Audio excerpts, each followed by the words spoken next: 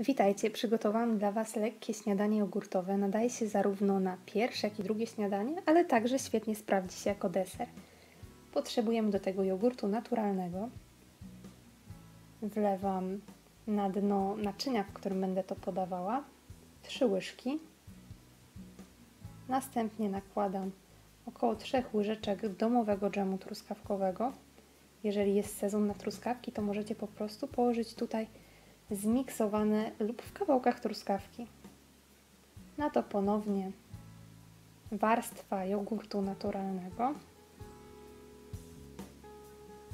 I teraz czas na coś, co ja bardzo lubię, czyli różne pestki i orzeszki.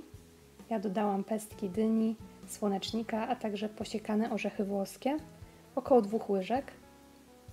Na to odrobina dżemu, żeby, było ta, żeby ta warstwa również była słodka.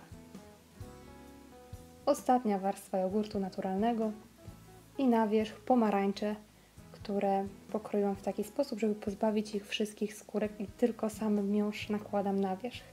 Jest to naprawdę pyszny deser, będziecie zachwyceni. Ja polecam, a po więcej przepisów zapraszam na www.jedzonko.tv. Pozdrawiam!